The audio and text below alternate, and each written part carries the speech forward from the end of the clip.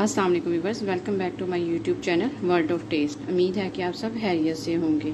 आज मैं आपके साथ रेसिपी शेयर करूँगी वाइट सॉस पास्ता की। अब हम बनाना स्टार्ट करते हैं। ये मैंने पास्ता लिया है दो कप। ये मैंने इसको बॉईल कर लिया है। गर्म पानी में एक टीस्पून मैंने नमक डाला था और एक वन टेबल स्पून ऑयल डाला था और मैंने इसको बॉईल कर लिया था। ये चिकन मैंने लिया है, एक प्याली।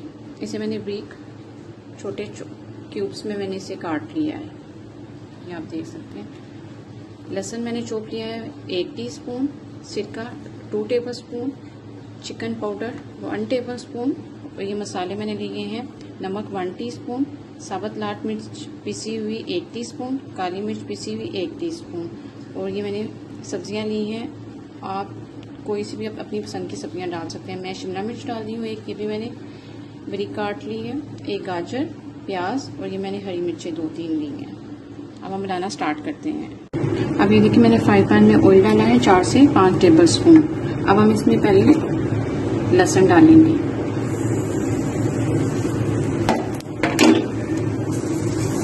हमने इसको ज़्यादा फ्राई नहीं करना। हमने सिर्फ़ एक दो सेकंड के लिए फ्राई करना है कि इसकी खुशबू आए।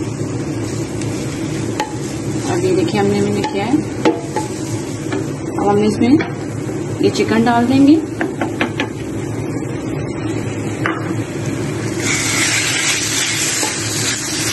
तो चिकन को हम फ्राई करेंगे, जब तक ये वाइट नहीं हो जाता।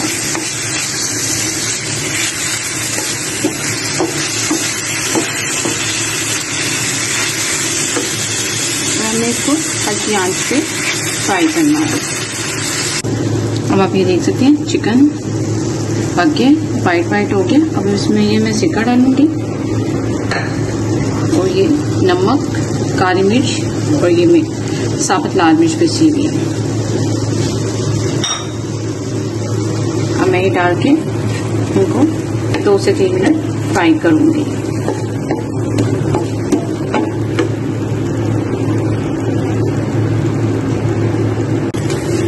अब ये देखें मसाले जो मैंने डाले थे, दो से चार मिनट मैंने चिकन के साथ इनको फ्राई किया। अब मैं ये सब्ज़ियाँ डालूँगी सब। इनको भी मैं चार से पाँच मिनट फ्राई कर लूँगी।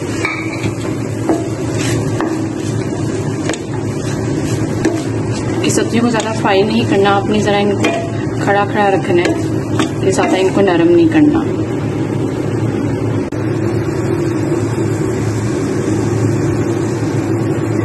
आप ये देख सकते हैं सब्ज़ियाँ फ्राई हो रही हैं अभी एक से दो मिनट हुए हैं। उतनी देर हम अपनी वाइट सॉस तैयार करते हैं। ये मैंने ऑयल डाला है फोर टेबल स्पून आप बटर भी ले सकते हैं। मैं अभी ऑयल डाल रही हूँ फोर टेबल स्पून और मैं इसमें डालूँगी टू टेबल स्पून मैदा।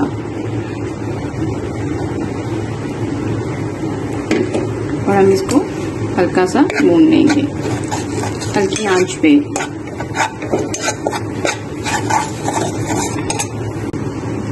अब ये देखें, मैंने मैदे को भून लिया था।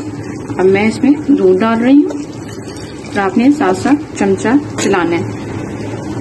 क्योंकि अगर आपने रुके तो इसमें गुटलियाँ बन जाएँगी। और ये देखिए हमारे चिकन की सब्ज़ियाँ भी हो गई हैं, चिकन और सब्ज़ियाँ भी हो गई हैं। अब हम इसमें डालेंगे one tablespoon white chicken का पाउडर और ये ये सॉस भी हो रही है। इसका क्योंकि मैंने अगर चमचा, अगर आपने ना साथ चलाया तो आपकी गुटलियाँ बन जाएँगी। ये आप देख सकते हैं, सॉस हमारी बन रही है। देखिए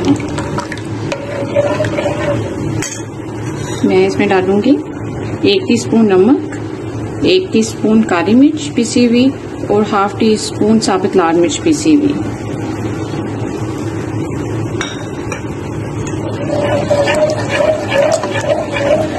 देख सकते हैं। ये अभी थोड़ा सा भी गाढ़ा नहीं हुआ।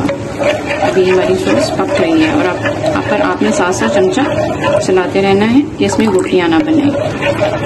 तो ये देखिए चिकन भी हमारा और सब्ज़ियाँ भी हमारी फ्राई हो गई हैं। अब हम इसमें डालेंगे पास्ता।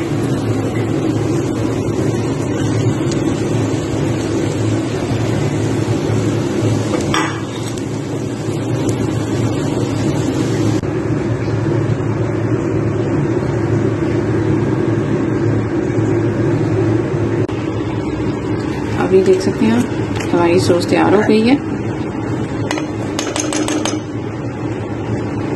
अब हम इसको पास्ते पे डालेंगे। इसमें रखना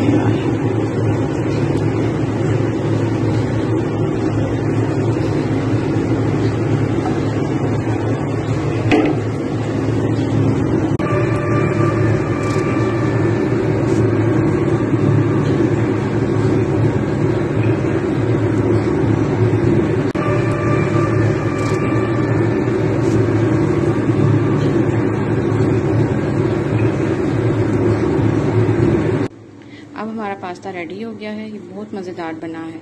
आप भी ज़रूर ट्राई कीजिएगा। आपने मेरे चैनल को सब्सक्राइब और मेरी वीडियो को लाइक करना है और शेयर करना है। अल्लाह हाफिज़।